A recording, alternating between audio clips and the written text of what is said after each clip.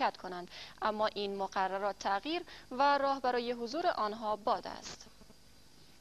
پسترهای انتخاباتی علامت چلیپا کاندیدا حاکی از احتمال عضویت او در حزب سابق بحث عراق است. فعالان بحث پیشتر اجازه نیافته بودند در انتخابات پارلمانی عراق شرکت کنند. اما در این مراد تغییر و راه برای حضور آنها باز شده است. همین موضوع خشم دهاتن از فعالان اجتماعی در عراق را برانگیخته است.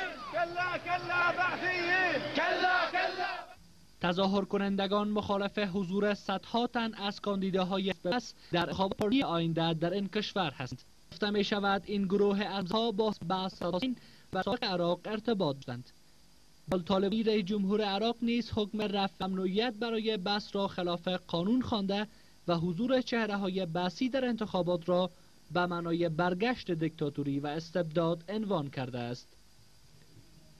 هیئت تجدید نظر تشکیل شده است پارلمان روز چهارشنبه چهارده دلو بر اثر دخالت های امریکا با صدور حکم به های رد صلاحیت شده اجازه حضور در انتخابات داد.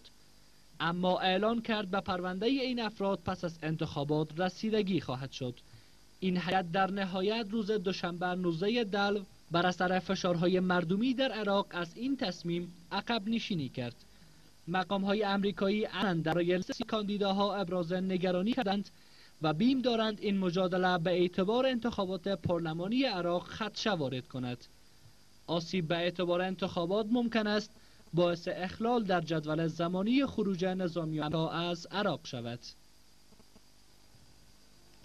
سی و یکمین سال روز انقلاب اسلامی در ایران با تدابیر شدید امنیتی برگزار شد. در مراسمی که به این مناسبت در تهران برگزار شده بود محمود احمدی نژاد رئیس جمهور آن کشور سخنرانی کرد. آقای احمدی نژاد گفت ایران توانایی تولید انرژی با غلظت بیش از 20 درصد را دارد. گزارش مخالفان دولت ایران نیز در شهرهای مختلف این کشور از جمله در تهران با اعتراض همراه بوده است. پس از برگزاری انتخابات ریاست جمهوری در ایران اعتراض مخالفان آقای احمدی نژاد بیشتر شده است. انقلاب اسلامی ایران در 31 سال پیش از امروز به شاه آن شد.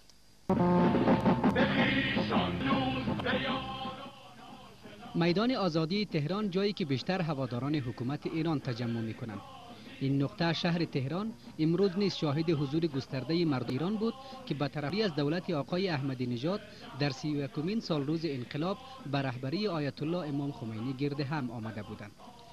تصاویری که شبکه های تلویزیونی ایران به نشر رسید نشان می‌داد که جمعیت سنگینی در شهرهای مختلف این کشور در راهپیمایی امروز